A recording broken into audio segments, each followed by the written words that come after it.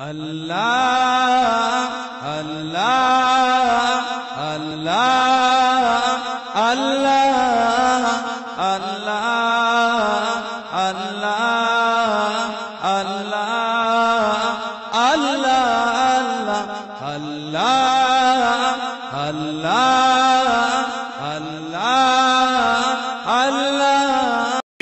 বেহা আমি ভালোবেসে তোদের দুটো চোখ দিলাম।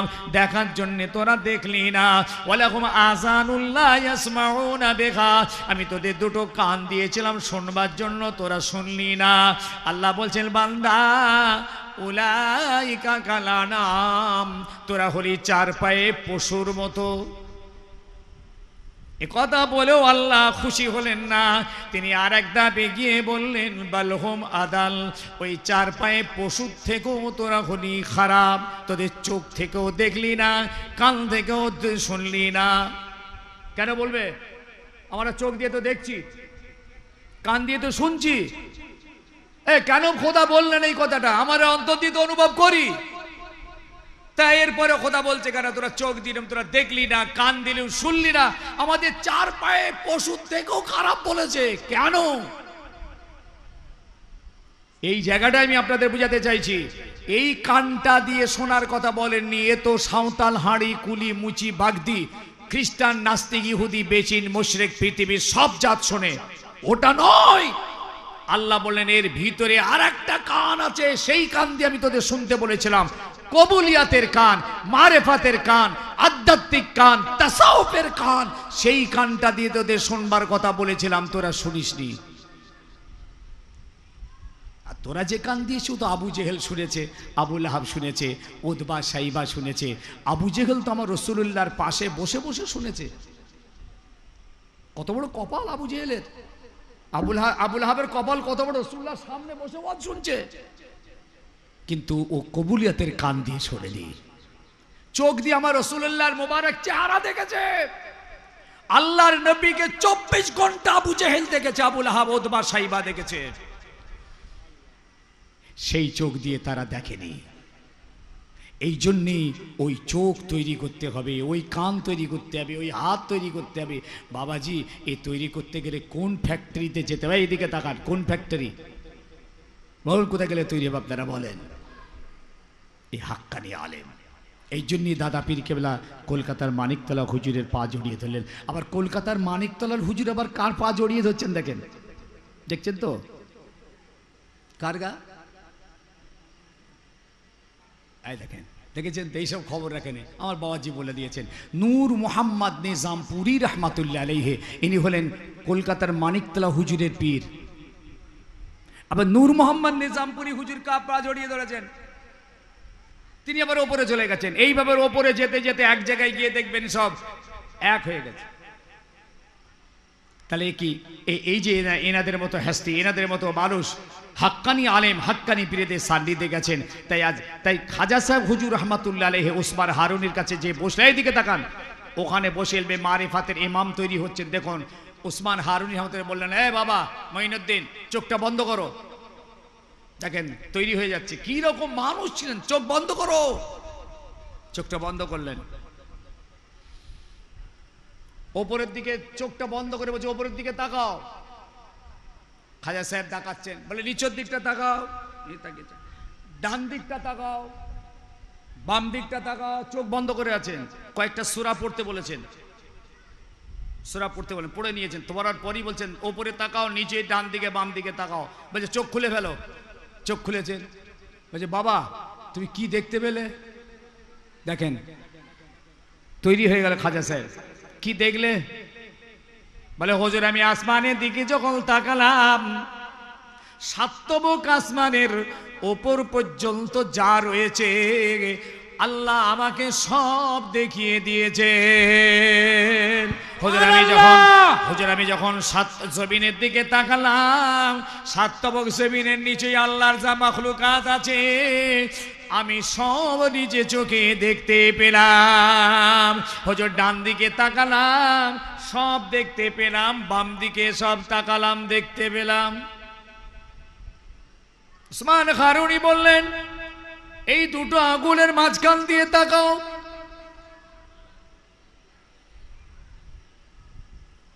তাকাও এদিকে। দুটো আগুনের মাঝখান দিয়ে তাকাচ্ছে। ও বাবা মইনুদ্দিন, কি তুমি দেখতে পেলে বলো গো?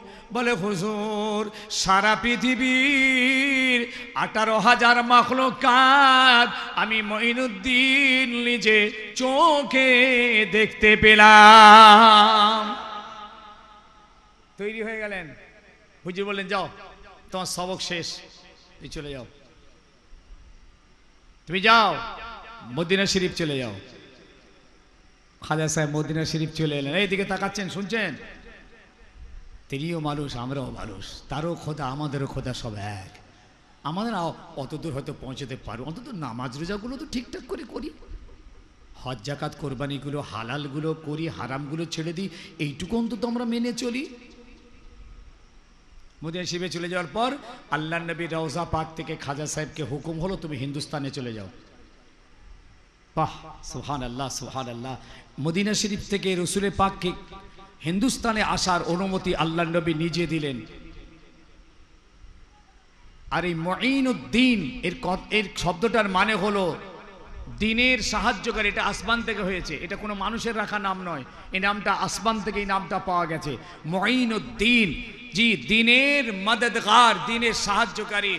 যাও, মঈনুদ্দিন, তুমি হিন্দুস্তানে যাও রসুল্লাহর ইশারা মতো, আল্লাহর নবীর হুকুম মতো রাস্তা বলে দেওয়া হলো। এসে তিনি হিন্দুস্তানের আজমিরে চলে এলেন তারাগড় পাহাড়ে। আজমিরে আসার পরে বিরাট লড়াই শুরু হলো, আপনারা জানেন, পৃথ্বীরাজের সঙ্গে। বিরাট লড়াই।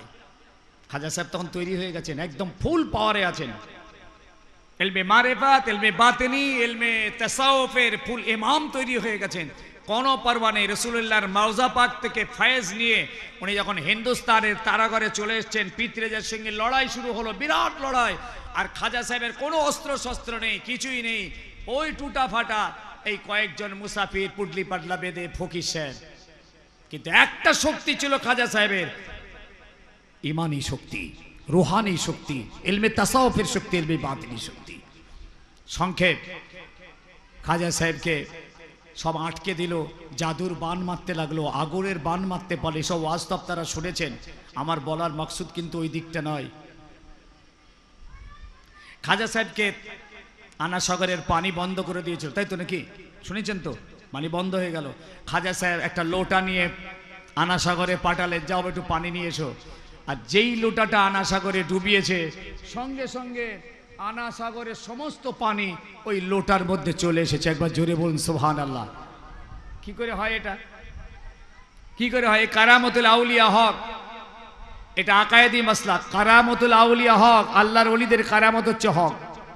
তো খাজা সাহেব, যেই লোটাটা পানিতে ডুবিয়েছে, সঙ্গে সঙ্গে পানি লোটার মধ্যে সব আনাসাগর শুকিয়ে গেছে। ওই হই ব্যাপার। খাজা সাহেবের কেন এই কারামতটা হলো? খাজা সাহেব তো নিজেও জানতেন না যে এইরকম কাণ্ডটা হয়ে যাবে। কেন আল্লাহর অলিদের যে কারামত হয়, আল্লাহর অলিরা জানেন না। আল্লাহর অলিরা জানেন না যে কারামত এরকম হয়ে যাবে। এর একটা কারণ মনে রাখবেন যে খাজা সাহেব যে হাতটা দিয়ে লোটাটা আনাসাগরে পাঠিয়েছিলেন, খাজা সাহেবের এই হাত আল্লাহর দরবারে কবুল হয়ে গেছে, কবুলিয়াতের হাত।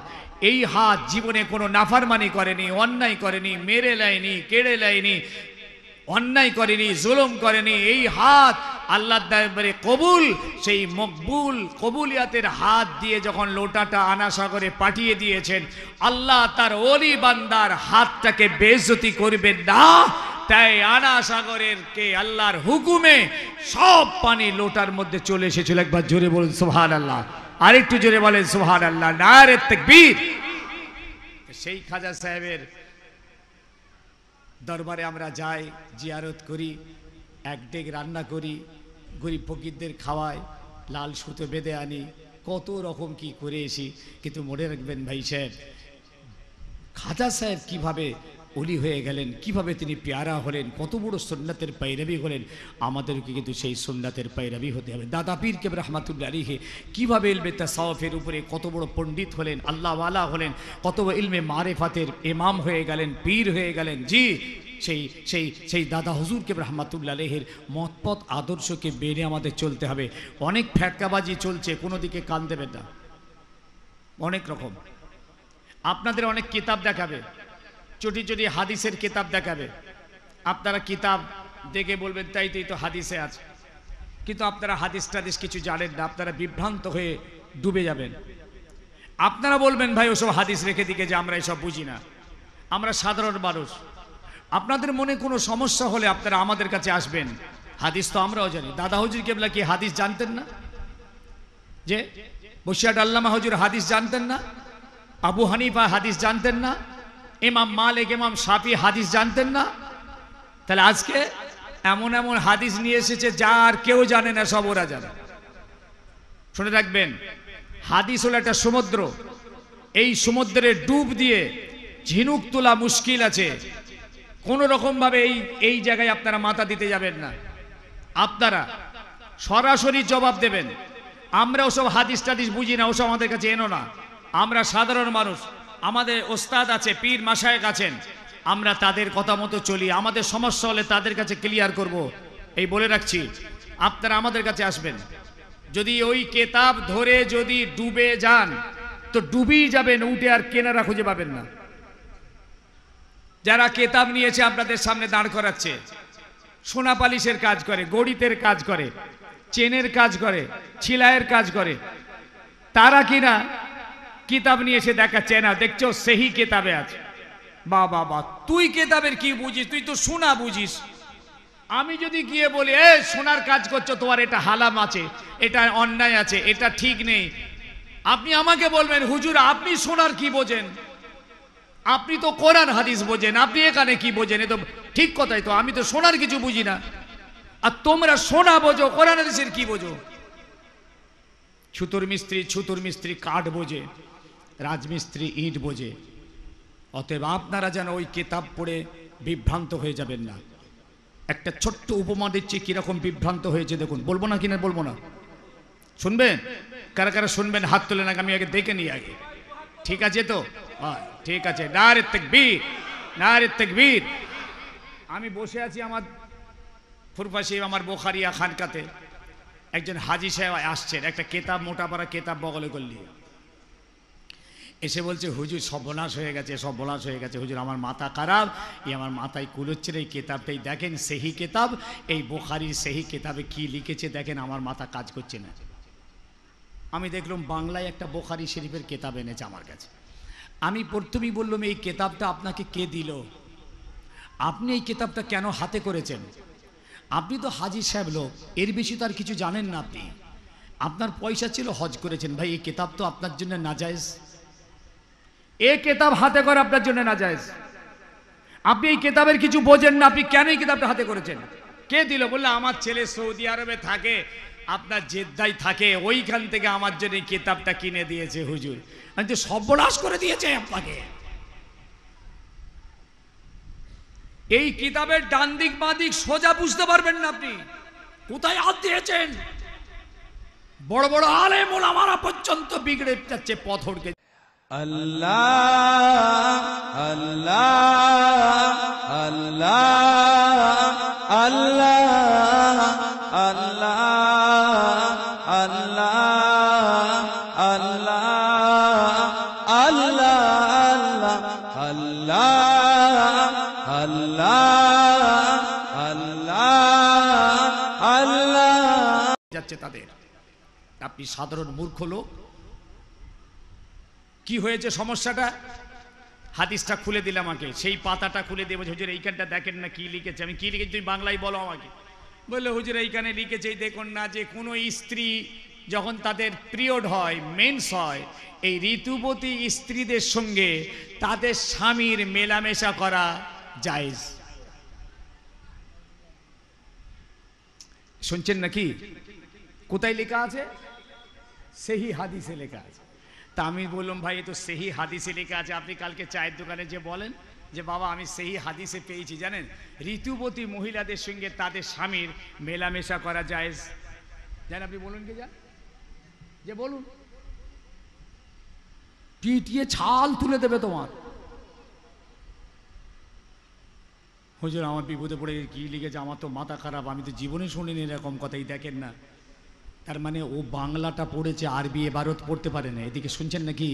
ও বাংলাটা পড়েছে, বাংলা মানেটা পড়ে ওর মাথা বম বম করে ঘুরছে একদম, সারা পশ্চিম বাংলা ঘুরছে। কিন্তু ও আরবি তো পড়তে পারে না, মূর্খ। আমি হাদিসটা হাতে নিলাম, নিয়ে এবারতটা পড়ে নিলাম। এবারতটা পড়ে নিয়ে বললাম, ঠিক আছে, যা লিখেছে ঠিকই লিখেছে। এই জন্যই বলছি, আপনার জন্যে এই হাদিসের কেতাব হাতে করা না যায় আপনি সাধারণ লোক, এসব বড় বড় কেতাব হাতে করতে যাবেন না, এই বিভ্রান্ত বেঈমান হয়ে মরে যাবেন। হাদিসটার কি লেখা আছে জানেন?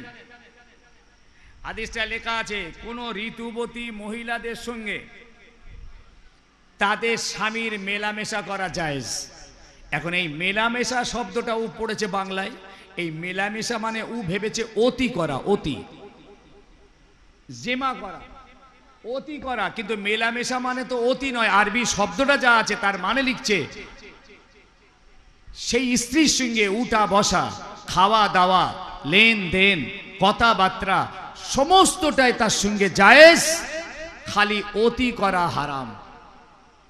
এখন ও তো আরবি বোঝে না। এই জন্যই বলছি, আপনি তো মূর্খ লোক। আপনি এত বড় বোখারি হাদিস তুলেছেন কেন? ও ছেলে তুলে দিয়েছে হাতে। সেহি বই আর সেহি দিয়ে তোর বাপ জাহান নামায় যাব, তাকিল হয়ে গেছে। মেলামেশা, ধরুন আপনি বলবেন, আমজেদ ভাইয়ের সঙ্গে আমার খুব মেলামেশা আছে, তার মানেটা কি? এই, মেলাটা কি? যে? রাজু ভাইয়ের সঙ্গে আমার খুব মেলামেশা আছে, তার মানেটা কি? তার সঙ্গে উঠা, বসা কথাবার্তা, লেনদেন, যাওয়া, আসা, এই হচ্ছে মেলামেশা, আরবি শব্দটা। কেন জাহিলিয়তের যুগে একটা নিয়ম ছিল, স্ত্রীদের যখন শরীর খারাপ হয়, তখন স্বামীরা স্ত্রীদেরকে বার করে দিত। জাহিলিয়তের যুগে ইসলাম তখন আসেনি, মহিলাদের যখন পিরিয়ড চলতো, তখন সেই স্বামীরা স্ত্রীদেরকে বার করে দিত, বাপের বাড়ি পাঠিয়ে দিত, বিছানা আলাদা করে ফেলতো, ঘর আলাদা করতো। আল্লাহর নবী এসে বললেন, না, এটা চলবে না। এটা আল্লাহর হুকুম মতো শরীরটা তাদের খারাপ হয়। এটার জন্যে তারা নাপাক নয়। তোমার তার হাতে খাওয়া, দাওয়া, চলা ওটা বীজ, বসা, লেনদেন সবটাই হালাল। খালি অতি করা যাবে না। এই জাহিলিয়াতের যুগের আইনটাকে ভাঙবার জন্যে এই হাদিসটা এসেছে। আর এই হাদিস ওই মূর্খ পড়ে মাথা খারাপ, বললে কি করে কি হলো? কখনো জানিনি ঋতুবতী মহিলার সঙ্গে মেলামেশা করার জায়েজ বলছে। এই জন্যে বলে রাখছি, আপনি গণিতের কাজ করেন, সোনার কাজ করেন, আপনি সোনা বুঝবেন, হাদিস বুঝবেন না। হাদিস নিয়ে আপনি বুঝতে যাবেন না। কথা বুঝছেন নাকি? আপনি ছুতোর মিস্ত্রি কাঠ বুঝবেন। আমি আমি কিন্তু সোনা বুঝব না। সোনালি আমার বুঝতে যাওয়া উচিত হবে না। আমি কোরআন হাদিস বুঝি, আলেম মানুষ, আমি কোরআন হাদিস বুঝব, আমি সোনা বুঝতে যাব না। আপনাদের কোনো কনফিউশন হলে বলে গেলাম আপনারা আমাদের কাছে আসবেন আল্লাহকে সামনে রেখে বলছি কোনো সমস্যা হলে আপনারা আমাদের কাছে আসবেন আমরা আপনাদের সমস্যার কনফিউশন মনের এই দিদিহান সন্দেহহান অবস্থাটা মিটিয়ে দেবো ইনশাল্লাহ একবার দরুশি পড়েন আল্লাহ সাল্লে আলা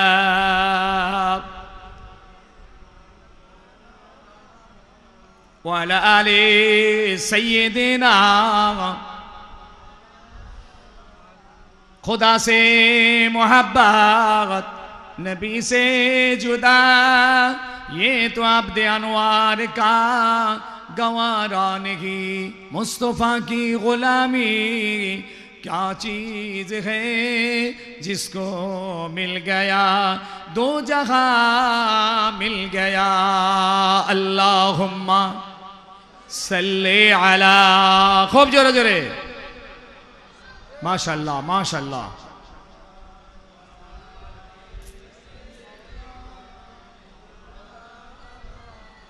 ये राज खुदाई है ये राज खुदाई है। अज्ञारो क्या समझेंगे? अल्लाह तू देता है मिलता है मोहम्मद से बलगल उला बेकमालिही कशफत दुजा बेजमालिही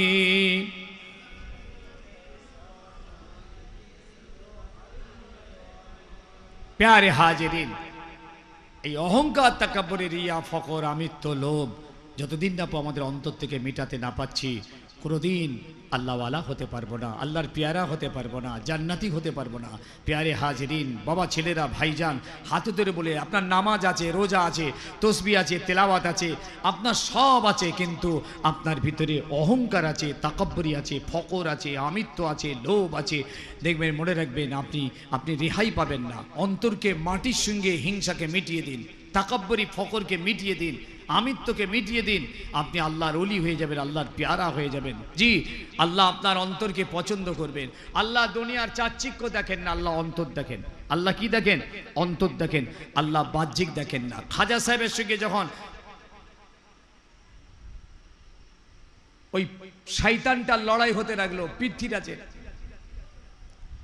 এত লড়াই, আগুনের বান আসছে। খাজা সাহেব চক দিয়ে দাগ কেটে দিয়েছেন, ভিতরে সব ঢুকিয়ে দিয়েছেন। আগুনটা এসে ওই চকের দাগের পাশে সে নিভে যাচ্ছে। খাজা সাহেবের গায়ে টাচ করতে পারছে না। সেই খাজা সাহেব হিন্দুস্তানের জমিনে নব্বই লক্ষ মানুষকে হেদায়েত করেছিলেন। বলুন সোহান রুহানি, বাতিনি শক্তি, মারেফাতের শক্তি, আধ্যাত্মিক শক্তি এলমে তাসাউফের শক্তি, এই শক্তির দ্বারাই নব্বই লক্ষ মানুষ হেদায়েত হয়ে, বুঝতে পেরেছেন? মাথায় টুপি, দাড়ি, মুসলমান হয়েছেন হিন্দুস্তানের জমিনে, সারা ভারতবর্ষের জমিনে, নব্বই লক্ষ মানুষ। আজকে আজমির তো আজমির শরীফ হতো না। আজমির আজমির শরীফ হতো না আজমির কেউ চিনত না। সারা বিশ্ব আজকে আজমিরকে চেনে। কোথায় আজমির? কে চিনত? যদি খাজা সাহেব যদি না আসতেন আজমিরে, কে চিনত? ভাই, কাঠের মিলে যে দেখবেন বড় বড় কাঠের গুঁড়ি পড়ে আছে।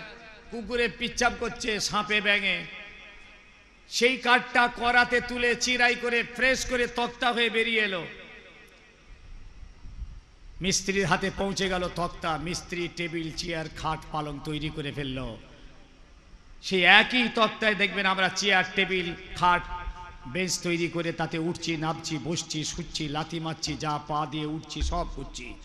আর সেই তক্তার একটা তক্তা দিয়ে মিস্ত্রি সাহেব একটা রেহেল কাঠ তৈরি করেছে। রেহেল কাঠ, কথা শুনছেন তো? সেই যেই রেহেল কাঠটা তৈরি করে দোকানে ঝুলিয়ে দিয়েছে, দোকানদার বিক্রি করবে, আপনি গিয়ে পয়সা দিয়ে কিনে নিলেন।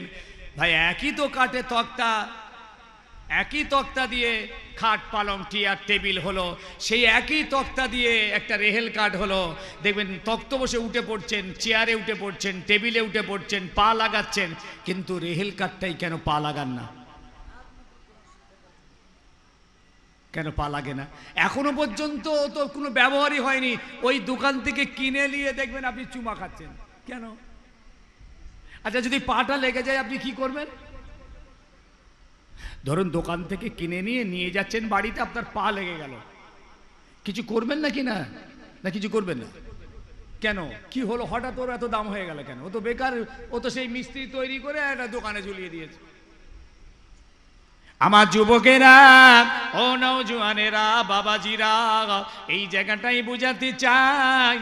একই কাঠ, একই তক্তা, একসঙ্গে তৈরি হলো একটা হলো রেহেল কাঠ, আর হলো এদিকে চেয়ার টেবিল। চেয়ার টেবিল দুনিয়ার কাজে তৈরি হয়েছে।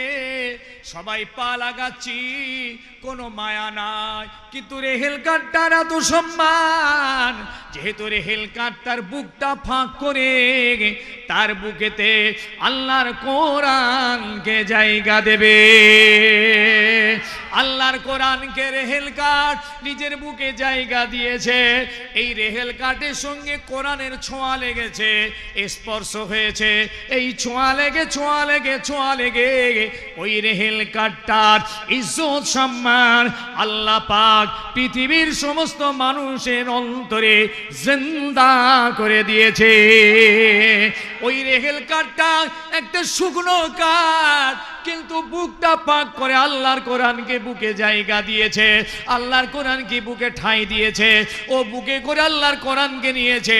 কোরআনের সঙ্গে তার ছোঁয়া লেগে ছোঁয়া লেগে এই কোরআনটার ওসিলায়, ওই কাঠের ইজ্জতটা আল্লাহ কেয়ামাত পর্যন্ত জিন্দা করে দিয়েছে। ভাই, আপনারা বড় রেহেল কার্ডটা যদি দেমুক লেগে যায়, কি করবেন? পুড়িয়ে দেবেন তো? ছি লগড়ে দেখুন। চেয়ারটা ভেঙে গুড়িয়ে দেমুক খেয়ে যায়, যদি কি করবেন?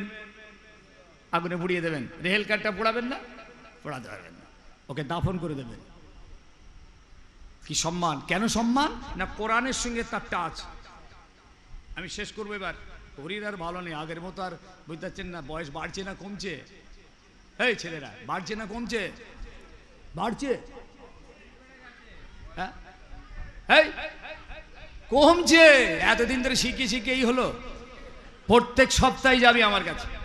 হ্যাঁ। আমার ওখানে খাওয়া দাওয়া করবি আর কিছু নসিহত দিয়ে আসবি। প্রত্যেক শুক্রবার প্রত্যেক শুক্রবার। আমার ওখানে খাওয়া দাওয়া করবে নামাজ পড়ে আর কিছু নসিহত নিয়ে আসবে। খালি যায় দাওয়াত করো দাওয়াত আর তাবিজ দাওয়াত আর তাবিজ। বুঝি এটা দাওয়াত হবে আর তাবিজ হবে। এই দুটো নিয়ে ফুরফুরাটাকে পাগল করে ফেললে না। ফুরফুরা কি খালি তাবিজের জন্য নাকি না দাওয়াতের জন্য ফুরফুরা? এই আসে ফুরফুরার জমিন খালি তাবিজ আর জলসার জন্য নয়। আল্লাহর কসম। ফুরফুরার জমিন মানুষকে আল্লাহর সঙ্গে সম্পর্ক তৈরি করার জন্যে। ফুরফুরার জমিন মানুষকে রসুলের সঙ্গে সম্পর্ক তৈরি করার জন্যে। আল্লাহওয়ালা তৈরি করার জন্যে, আল্লাহর পেয়ারা বানানোর জন্য ফুরফুরার জমিন। সেই জমিনে বড় বড় আল্লাহর অলি তৈরি হয়েছে, দরবেশ তৈরি হয়েছে, পীর তৈরি হয়েছে, কুতুব তৈরি হয়েছে, আবদাল তৈরি হয়েছে।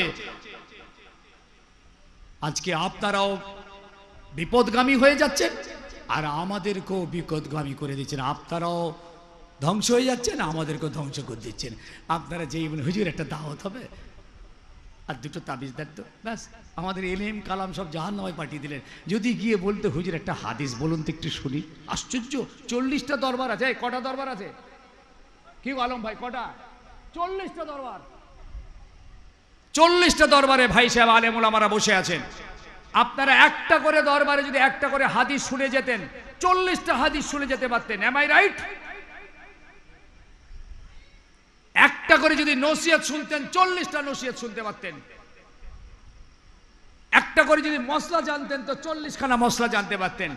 কালি যে বলছে, হুজুর, এটা তাবি যাবে না বলছে, দাওয়াত, এই দুটো, আমি তো তাড়া মারি ওদেরকে। আমাদেরকে এই এই জন্যই তৈরি করে দিলি, আমাদেরকে এইভাবে শেষ করে দিলি, আমাদের কাছ থেকে কিছু জানতে চাইলি না? বড় হুজুর কেবলা মেজুজুর কেবলাকে তো আমরা দেখেছি নহজুর কেবলা, ছোট হুজুর কেবলাকে দেখেছি। এই যুবক, এই আঠাশ, এই পঁয়ত্রিশ, চল্লিশ বছরের ছেলেরা দেখেনি ছোট হুজুরকে। দেখেছে? এই পঁয়ত্রিশ বছর, চল্লিশ বছরের যুবক, বলো, ছোট হুজুরকে দেখেছ? বড় হুজুরকে দেখেছেন? নহজুরকে দেখেছেন? দেখেননি। মেজুজুর কেবলাকে দেখলে দেখতে পারেন। ওনাদের যখন লোকজন আসতো, আল্লাহ একবার সব তাসাউফের শিক্ষা চলছে বাতিনি শিক্ষা চলছে, মারেফাতের শিক্ষা চলছে। জি ইলমে ইলমে বাতিনি শিক্ষা চলছে আল্লাহ একবার ইলমে তাসাউফের শিক্ষা চলছে হাদিসের শিক্ষা চলছে বসে বসে সব তালিম দিচ্ছেন এইবার যাবার সময় হয়তো বলল হুজুর আলাদা কথা তাবিজ মুখ্য নয় আজকে আপনারা যান, হালুয়া রুটি, ওই মোরব্বা, আর আতর শর্মা আর রুমাল টুপি কিনে না আরে তেকবীর, আল্লাহ একবার চলে হাতে ধরে বলছি। ফুরফুরা শরীফ এলবে বারে ফাতের জায়গা। এলবে তাসাউফের জায়গা। আজকে আমরা কোথায় চলে গেলাম, কোথায় পৌঁছে গেলাম বলুন। দাদা হুজুর কেবল রহমাতুল্লাহ দায়রা শরীফে বসে আছেন, এদিকে তাকান। আরেকটা বলে রাখি দাদা পীর কেবলা জীবনী কোনো প্রত্যেককে কিনতে হবে বলে যাচ্ছি। প্রত্যেককে দাদা হুজুরের জীবনী একটা করে। শুনছেন নাকি? আর পাঁচ হুজুর কেবলা জীবনী একটা করে কিনবেন। হাতে ধরে বলে যাচ্ছি। দাদা পীর কেবলা জীবনীটা পড়ুন। পড়ে দাদা পীরকে চিনুন। তিনি কি করেছেন আর কি বলে গেছেন আমাদেরকে একটু ভালো করে জানার দরকার। ও আমাদের মুখ থেকে কতটুকু শুনবেন? একটা বই পড়ুন। বৈশাখ হুজুরের জীবনী পড়ুন। চিনতে পারলেন না, পড়লেন না, বুঝলেন না, অন্ধবিশ্বাস করে আছেন খালি। দাদা হুজুরকে আগামী ২০ বছর পরে, পঞ্চাশ বছর পরে আপনারা দাদা ভুলে যাবেন। দাদা পীরের গুরুত্ব থাকবে না আপনাদের কাছে। কেন দাদা পীর সম্পর্কে কিছুই জানেননি আপনারা? এই জন্য জীবনী পড়ুন, হাতে ধরে বলছি। বই আছে। লেটেস্ট জীবনী বেরিয়েছে দাদা হজুর কেবরা শত লেটেস্ট আল্লামা পি সাইফুদ্দিন সাহেব হুজুর হাইনা হায়াতে বেঁচে থাকা অবস্থা একটা জীবনী বেরিয়ে গেছে। জীবনীটা কিনে নেবেন। পঞ্চাশ টাকা করে দাম আছে মনে হয় বইটার। কিনবেন। হাতে ধরে বলছি। না, দেড়শো টাকা দাম আছে, বইটা দেড়শো টাকা দাম। বসিয়াট হুজুরের জীবনী পড়ুন। মানুষগুলোকে চিনুন ভালো করে। অন্তরে জায়গা দিন। বুঝতে শিখুন। ভাবুন। তাই আমার ভাইদের ছেলে ছোকরা যুবক জওয়ানদের উদ্দেশ্যে বলে গেলাম, ফুরফুরাকে মজবুত করে ধরুন। বলে যাচ্ছি। বাঁচার জন্য বলছি। আর একটা কথা বলছি, ফুরফুরা শরীফ কাউকে ঠকায় না। ফুরফুরার জমিন ঠকায় না কাউকে। ফুরফুরার জমিন বলতে যে আমি আমজাদ বলছি নি অন্য কাউকে বলছি নি ফুরফুরার জমিন বলতে যেটা, এ কাউকে ঠকায় না, গাদ্দারি করে না। এ রাজনীতি করে না। পুরপুরার জমিন রাজনীতি করে না। রাজনীতি যদি আমজেদ করে, বলবেন আমজেদ ভাই রাজনীতি করে। এর মানে পুরপুরা রাজনীতি করে না। যদি পুরপুরা জমিনে কারও কথা যদি অবান্তর হয়, যদি পছন্দ না হয়, ঠিক মেনে নেওয়ার মতো না হয়, আপনি তাকে ছেড়ে দিতে পারেন, জমিন ছাড়তে পারবেন না। ধরুন এমন কিছু কথা বলেছি, আমি আমাকে নিয়ে বলছি, ধরুন এমন কিছু কথা বললাম যে আপনার পছন্দ হলো না। আপনি আমাকে ছেড়ে দেবেন, জমিন ছাড়বেন কেন? জমিন ছেড়ে কোথায় যাবেন আপনি? যদি কোথাও যান তাহলে বলে যাবেন, হুজুর, আমরা পুরুপুরা ছেড়ে দিলাম, অমুক জায়গায় যাচ্ছি। কোথা যাবেন, বলে যাবেন। প্লিজ আমার যুবক, সন্তান, ছেলে, বাপ, ভাই, মা, বোন, সকলকে উদ্দেশ্য করে বলে গেলাম, ঠিক জায়গাতেই আমরা আছি, ঠিক এমাম আমরা ধরে আছি। হাদিস পাক এসেছে, রসুল্লাহ বলেছিলেন, সাহাবাদের এক একটা প্রশ্নের উত্তর দিতে দিতে সাহাবা কেরামদেরকে রসুল্লাহ লাস্টে কি বললেন জানেন? সাহাবিরা বললেন, হুজুর, আমরা কি করে বাঁচবো? এই ফেতনা ফাসাদতে কি করে বাঁচবো? এই কঠিন পরিস্থিতি আমরা কি করে ইমান ঠিক করব? আমরা কীভাবে চলবো? আপনি তো দুনিয়া থেকে চলে যাবেন, হুজুর, আমরা কি করব? তখন হুজুর সাহাবিদের বলতে বলতে বলেছিলেন ও আমার সাহাবিরা কঠিন পরিস্থিতির মাঝখানে পড়লে তোমরা তখন আস্তে আস্তে কি করবে? জামাতুম মিনাল মুসলিমিন। মুসলমানদের জামাতের একজন ইমামকে মজবুত করে ধরবে। এই ইমাম যদি তোমাদেরকে মারে, তাও ছাড়বে না। ইমাম যদি তোমাদের মাল মাথা কেড়ে নেয়, তাও ছাড়বে না। ওই ইমামকে মজবুত করে ধরবে। হুজুর বলছেন, ইমামটা কেমন হবে? যিনি নায়েবে নবী হবেন, ওয়ারাসাতুল আম্বিয়া হবেন, আশেকে রসুল হবেন, কোরআন, হাদিসের উপরে বড় আলেম হবেন, আমলকারী হবেন, তাকওয়া হবে, পরেজগারি থাকবে খোদা ভীরতা থাকবে, লিল্লাহিয়ত থাকবে, সুন্নাতের আমল থাকবে, অহংকার, তাকব্বরি, রিয়া ফকর আমিত্ব লোভ থাকবে না, ধৈর্য, সহ্য, শকর, সবর থাকবে। ইনি হবেন সেই জামানার ইমাম। ও আমার সাহাবিরা কেমন করে ধরবে? রসোল্লা দুটো উদাহরণ দিলেন। কেমন করে ধরবে? আল্লাহ নবী বললেন, যেমন একটা কাপড় যদি দুটো দাঁতের মাঝখানে কোনো বস্তু যদি দাঁত দিয়ে চেপে ধরো, সেই বস্তুটাকে যদি জোর করে টেনে নেওয়া হয়, ছিঁড়ে বেরিয়ে যাবে, দুটো দাঁতের মাঝখানে বস্তু থেকে যাবে। এইভাবে তোমরা দুটো দাঁত দিয়ে চেপে ধরার মতন তোমরা তোমাদের এমামকে মজবুত করে ধরবে। আহ বল সোহান আল্লাহ হুজুর আর একটা উদাহরণ দিলেন, যেমন বড় বড় গাছগুলো তার শেকড়গুলো মাটির ভিতরে চালিয়ে দেয়। শেকড়গুলো মাটির ভিতরে চালিয়ে দিয়ে সেই শেকড়গুলো মাটি আঁকড়ে ধরে গাছটাকে দাঁড় করিয়ে রাখতে চায়। তাহলে গাছ বেঁচে থাকতে চায়, শেকড়গুলো মাটির ভিতরে সঞ্চালন করে দিয়ে তোমরাও তোমাদের ইমামকে ওই রকম মজবুত করে ধরবে, যেমন শিকড় মাটিকে মজবুত করে ঝরে থাকবে। হাত্তা ইয়াতিয়া কালমত। মেশকাত শরীফ এই রকম থাকতে থাকতে তোমাদের মত এসে যাবে। হাত্তা ইয়াতিয়া কালমত, তোমাদের মৃত্যু এসে যাবে। ও বাবাজি, সোনার মানিক, আমরা তো ইমাম পেয়ে গিয়েছি। ইনশাল্লাহ আমরা যোগ্য ইমাম আমাদের পীর বর্ষের দাদা পীরকে পেয়েছি। সেই দাদা পীরকে মজবুত করে আপনারা ধরেও আছেন, কোনো অসুবিধে নেই। মজবুত করে ধরে থাকি মত পর্যন্ত, কিন্তু এই ধরে থাকার অর্থটা ভুলে যাচ্ছেন। ধরে থাকার অর্থ হলো, দাদা পীর কেবলার ওসিয়াত আর নসিয়াত মেনে চলতে হবে। তিনি যেভাবে চলতে নিষেধ করেছেন, কোরআন, হাদিস মোতাবেক, সেই মতো চলা বন্ধ করতে হয়। যেভাবে চলতে বলেছেন, সেইভাবে চলতে হয়। ডায়রা শরীফে দাদা হুজুর কেবলা বসে আছেন। শেষ নাকি? হ্যাঁ। এই কথাটা বলি, দোয়া করে দিই। ছোট্ট করে। দায়রা শরীফ জানেন দাদা হুজুর কেবলা দায়রা শরীফ, ওখানে হুজুর বসে থাকতেন। বড় খালিফারা এসে বসে থাকতেন। বড় বড় মহাদ্দেশরা বসে থাকতেন, দাদা পীর কেবলার সঙ্গে তাসাউফ, ইলমে তা- বাতেরি তালিম তাল্লম দর্শ দিতেন। তা দাদা হুজুর কেবলাকে এসে একটা লোক বলছে, আমাদের ফুরফুরা এলাকারই লোক এসে বলছে, হুজুর, আপনাকে অমক লোক খুব গালাগালি করেছে। এখন হয়েছে কি, যেসব বিদেশি লোকেরা এসে ফুরফুরায় মারা যায়, তাদেরকে তো সে একটা পিছন দিকে কবরস্থান আছে, দাফন করা হয়।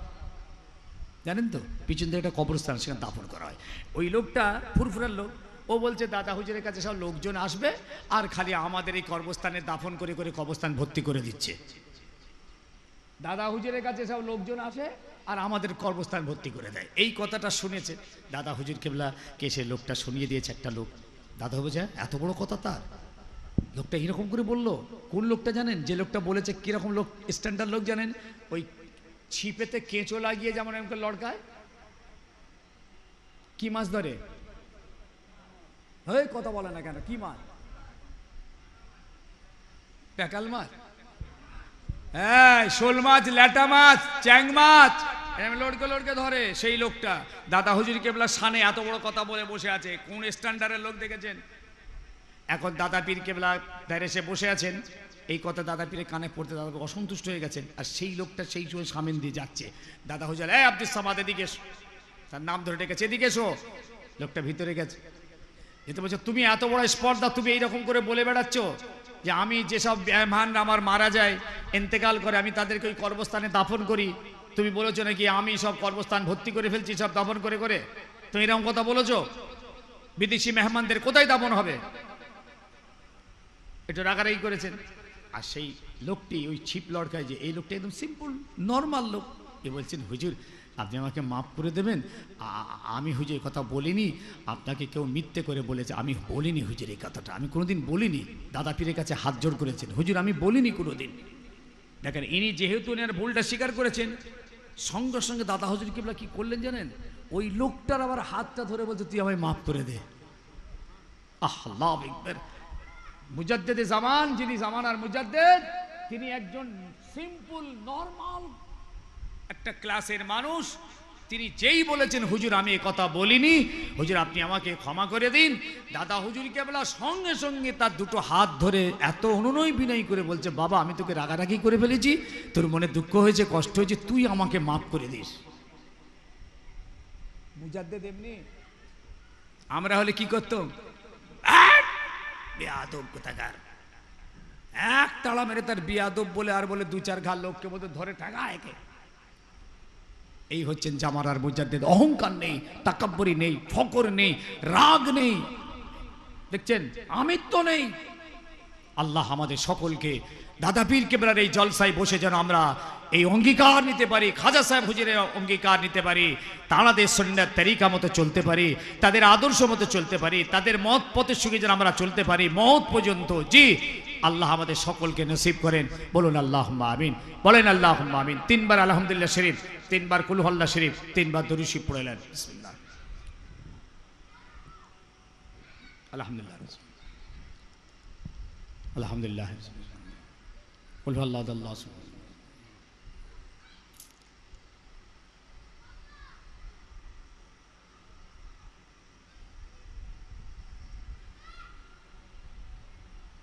আল্লাহ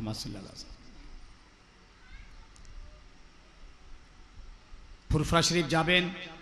আপনারা তো আমাদের এলাকার ভাই। সবাই জানাশোনা, পরিচয় যাবেন। শুক্রবার বুঝে যাবেন। এই যে কালকে শুক্রবার, কিছু মানুষ তো আসে।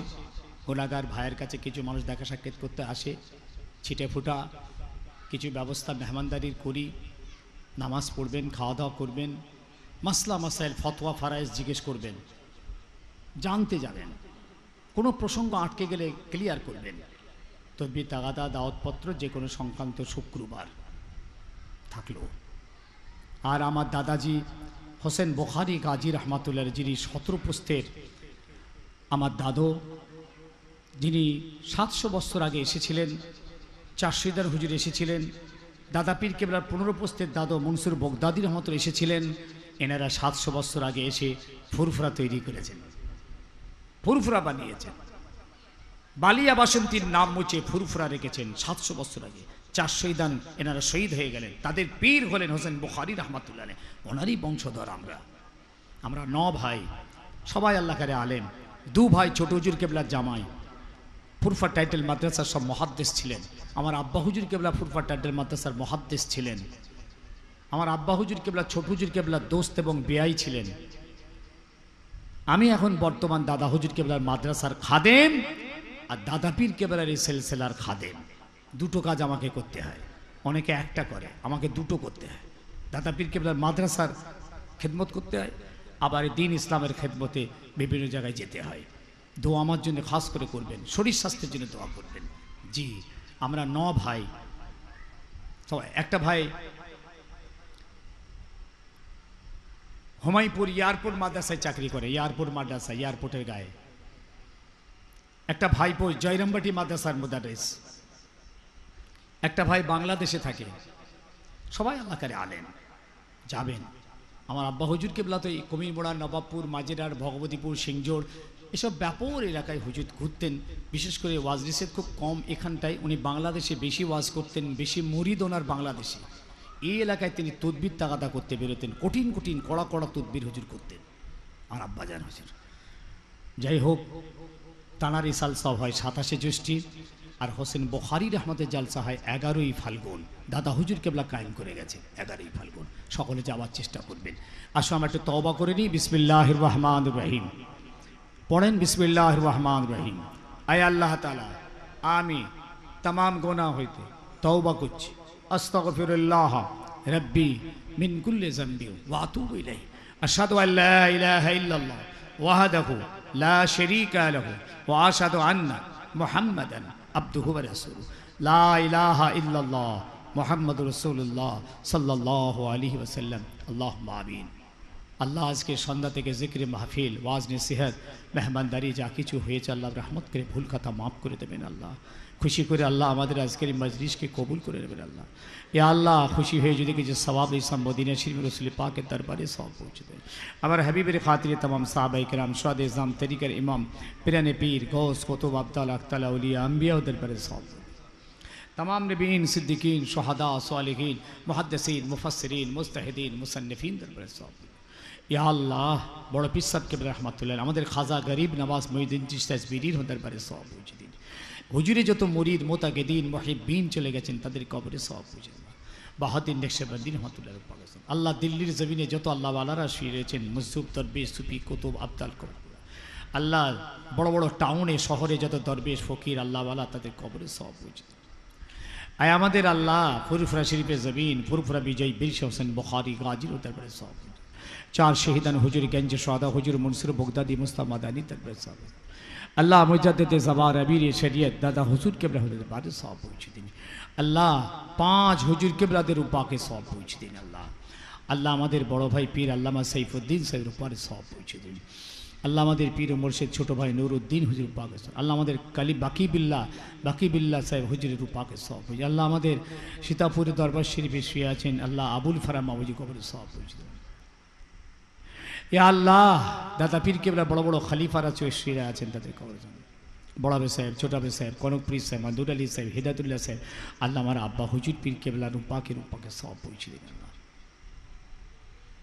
আজকের মাহফিলে যারা এসেছেন, যারা চলে গেছেন, যারা সহযোগিতা করেছেন, দৌড়ঝাঁপ করেছেন মেহনত করেছেন, আল্লাহ আমাদের সকলের বাপ, মা, দাদা, দাদি, নানা, নানি আবাসদা চেরে পুলে, বাল, বাচ্চা, স্বামী সকলের কবর আপনি সব কবরে আজাবকে আল্লাহ আপনি মাফ করে দিন আল্লাহ। কবরটা রহমতের নূর দিয়ে আল্লাহ আপনি ভরপুর করে দিন আল্লাহ। একটু জোরে বলেন আল্লাহ আমিন। এই বাচ্চারা জোরে বল আল্লাহ আমিন। এই মানিকগুলো বল আল্লাহ ইয়া আল্লাহ, আপনার জমিনে বসে আপনার বান্দার আপনাকে না দেখে, আপনার জাহান নামা জান্নাত আজাবে কবর না দেখে আল্লাহ আপনার রহমতের আশা করে দুটো হাত তুলেছে আল্লাহ। আল্লাহ, আপনি তাড়িয়ে দেবেন না, দূর করে দেবেন না, খালি হাত ফিরিয়ে দেবেন না আল্লাহ। আল্লাহ, আপনি আমাদের দোয়াকে আজকে কবুল করে নিলেন আল্লাহ আমাদের ইসাল সবকে কবুল করে নিলেন। আল্লাহ আমাদের মোনাজাতকে কবুল করে নিলেন। ইয়া আল্লাহ, আমাদের যত ভাই, বাপ, মা, ছেলে, আত্মীয়, আকারে, কবরে, সকলের কবরে বিশ্ব বানিয়ে মাহফিল আল্লাহ যিনি এত বড় সালের সবের ইন্তজাম করেছেন তিন দিন ব্যাপী। আল্লাহ তানার আহলে বায়াল যারা চলে গেছেন বাপুল মাকুল মুরব্বীর আল্লাহ তাদের কবর আপনি সব পৌঁছে দিন আল্লাহ। আল্লাহ তাদের কবরকে কুশাদা করে দেন আল্লাহ। রাহমাতের দৌড় দিয়ে ভরপুর করে দেন আল্লাহ। কেয়ামতের দিন ডান হাতে আমল নামা নসিব করবেন আল্লাহ। আল্লাহ ভাইদের হায়াত দারাজ করবেন, রুজি রোজগারে বরকত দেবেন ইমানদার করবেন, নেক ছলে করবেন, আল্লাহওয়ালা করবেন। আল্লাহ হলে বায়াল পরিবার বর্গ, বাচ্চা কাচ্চা যা রেখেছেন আল্লাহ তাদের হায়াতকে দারাজ করবেন নেককার করবেন আল্লাহ। দিনই কাজ করবার তৌফিক দেবেন, দিনই কাজ করবার তৌফিক দেবেন। রুজিতে রোজগারে আল্লাহ বরকত দেবেন। আল্লাহ আপনি তো দেনেওয়ালার মালিক আল্লাহ। আমার সকল ভাইদের ব্যবসা বিজনেসে কার কারবার, চাষাবাদ চাকরি বাকরি যে যা করে, আল্লাহ হালাল রুজিতে বরকত দেবেন আল্লাহ। জোরে বলা গেল নি? জোরে বলা যাচ্ছে আল্লাহ হুম্মা আমি ইয়া আল্লাহ, আমাদের মধ্যে যারা কঠিন কঠিন বেমারে ভুগছেন, আপনি সেফা করে দিন আল্লাহ। অভাবী আছেন, অভাবকে দূর করে দেন আল্লাহ। যে যা নিয়েতে হাত তুলেছে, আল্লাহ কবুল করে নেন আল্লাহ। ইয়া আল্লাহ পাক শেষ আর যে আপনার দরবার শরীফে বিশ্বে মুসলমানদের হেফাজত করুন। আল্লাহ পাক আমার নবী পাকের উম্মাত, উম্মতি, গুনাহগার, উম্মাত, উম্মতিদের ইমানদার উম্মাত, উম্মতিদের, নাস্তিক, ইহুদি বেদির মুশরিকদের হাতে মারবেন না, আল্লাহ বেইজ্জতি করবেন না, আল্লাহ আপনি আমান, শান্তি দিন, সমাজ বোঝ দিন, মানবতা দিন। আয় আল্লাহ, বিশ্বে মুসলমান বড় পরিস্থিতিতে, বড় মুসিবতের মধ্যে রয়েছে আল্লাহ আপনি আসমান থেকে, তাদের উপরে সাহায্য নাজিল করুন। আল্লাহ প্যালেস্তাইনের জমিনে কি হচ্ছে? হারজকাবেনিয়ায় কি হচ্ছে? আল্লাহ পাক মায়ানমারের জমিনে কি হয়ে গেল, কি হচ্ছে? যারা দুনিয়া থেকে চলে যায়, আল্লাহ তাদের শাহাদাত কবুল করুন। আল্লাহ আপনি তো সব পারেন। আপনি কি না পারেন, কি না করেছেন? আপনি তো আব্রাহা বাদশাকে ধ্বংস করে আবাবিল পাখি দিয়ে আপনার খানে কাবা আল্লাহ আপনি জিন্দা রেখেছেন। ও আল্লাহ, আপনি কি না পারেন ইব্রাহিম নবীকে নমরুদের আগুন থেকে আপনি বাঁচিয়েছেন? আল্লাহ পাক, আপনি কি না পারেন মুসা নবীকে নির্লাদ থেকে বাঁচিয়েছেন? আল্লাহ ঈসা নবীকে আসমানে তুলে নিয়ে আপনি বাঁচিয়েছেন। নুহ নবীকে নৌকা দিয়ে তুফান থেকে আপনি বাঁচিয়েছেন। আল্লাহ ইসুফ নবীকে কুয়া থেকে তুলে মিশরের বাদশা করেছেন। ইউনুস নবীকে মাছের পেট থেকে আল্লাহ আপনি শান্তি আমান দিয়েছেন। আপনি কি না পারেন, সবই তো পারেন। আল্লাহ আমাদের নবীকে কুয়ার ভিতরে চুলে গেরো দিয়ে জাদু করে মেরে ফেলছিল। আপনি তো কুয়া থেকে চুলটা তুলে আমাদের নবীকে আল্লাহ আপনি বাঁচিয়েছেন।